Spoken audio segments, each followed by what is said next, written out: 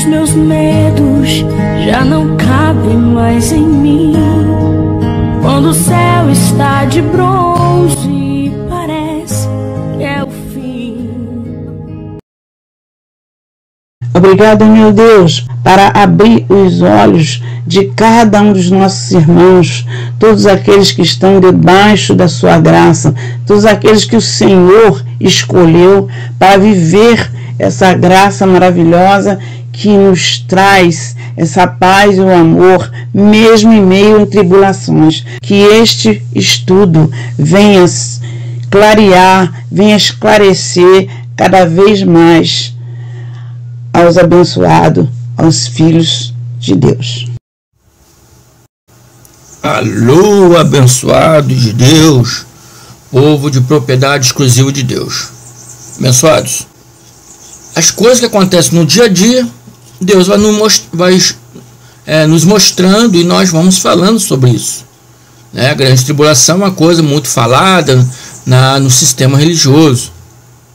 E algum pastor disse que virá a grande tribulação, virá o julgamento. Não, abençoados. Tanto a grande tribulação como o julgamento já houve no ano 70. Né? Mas todas as calamidades que acontecem hoje no mundo né, os doutores da palavra de Deus, eles vêm e dizem que é o início da grande tribulação. Mas essa, essas pandemias já são anunciadas desde 412 a.C. Os abençoados sabiam disso? Desde 412 a.C., um médico grego chamado Hipócrates já anunciava já foi registrado né, por esse médico essas pandemias. Desde então elas vão se mutando, né? Vão, vão se fortalecendo mais, né?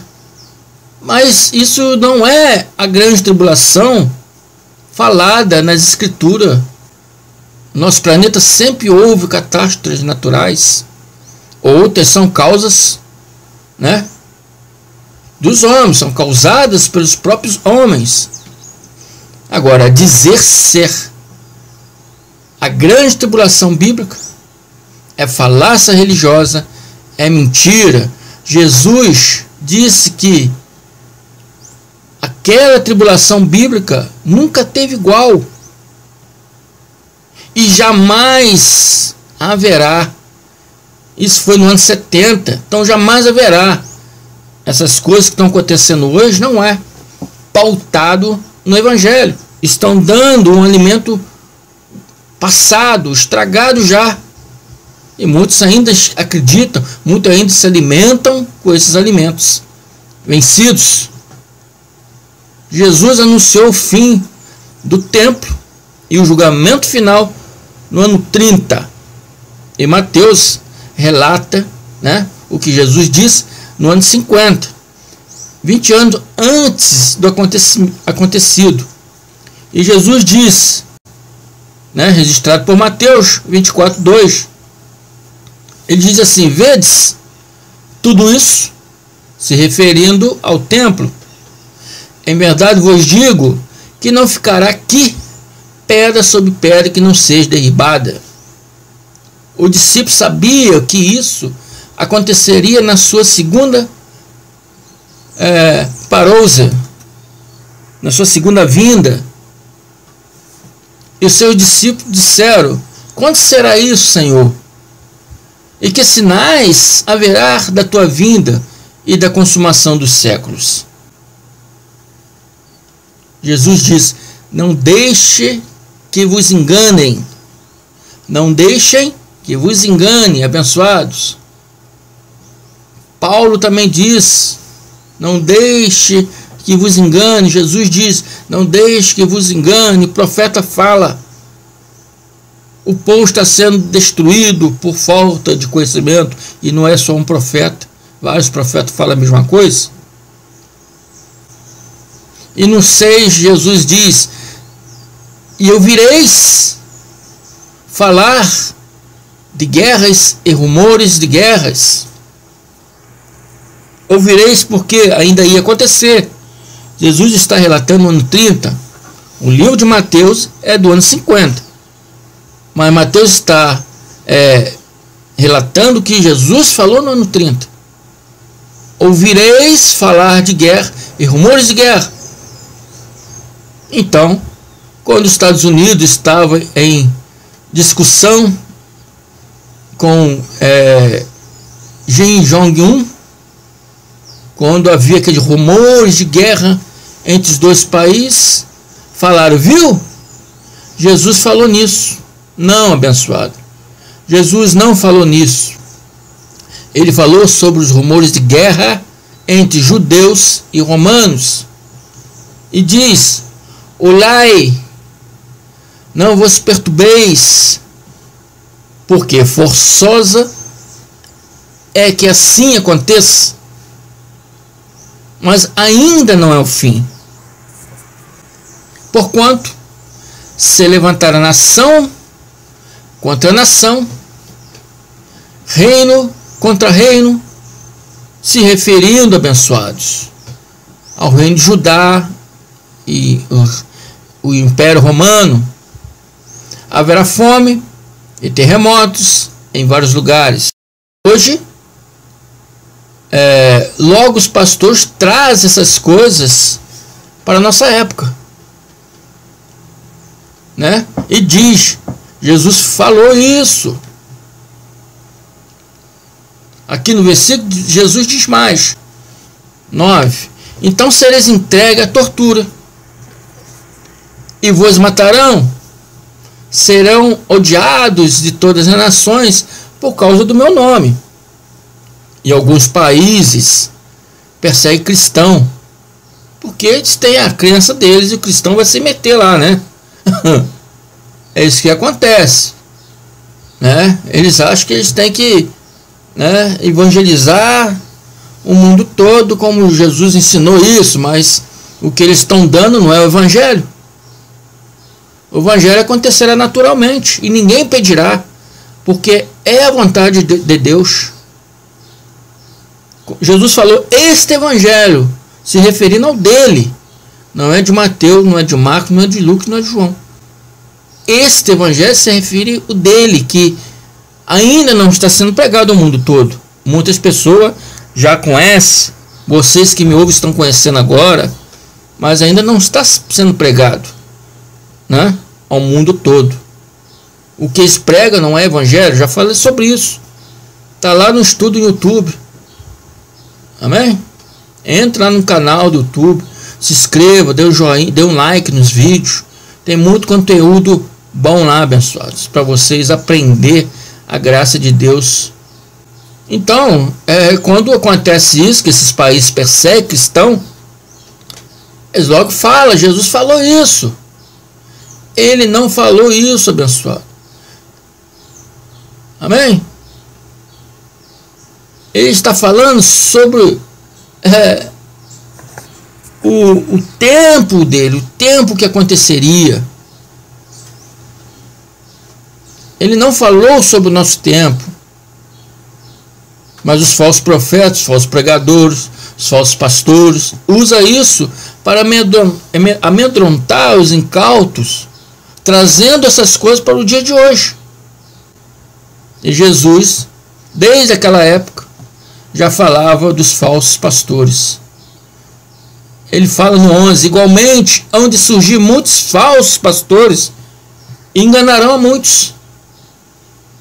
Jesus aqui prediz como irá acontecer para que eles, quando acontecer, venham a se preparar.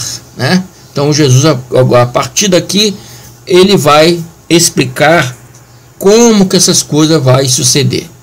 Né? Ele começa no 15, quando ele diz, quando pois vidas estar no lugar santo, a abominação de desolação predita pelo profeta Daniel. Quem lê, entenda. O que, que significa isso? Quem lê, entenda. Daniel estava falando sobre o que aconteceu no tempo dele. quando é, rei, né? Antíoco Epifânio IV invadiu Jerusalém, né? E Jesus deu o mesmo exemplo para os discípulos, né? Que ele, é, que com certeza sabiam desse acontecimento de, de Antíoco, né? Também conhecia o livro de Daniel. Jesus usou a passagem de Antíoco Epifânio IV para dar exemplo de como seria, né?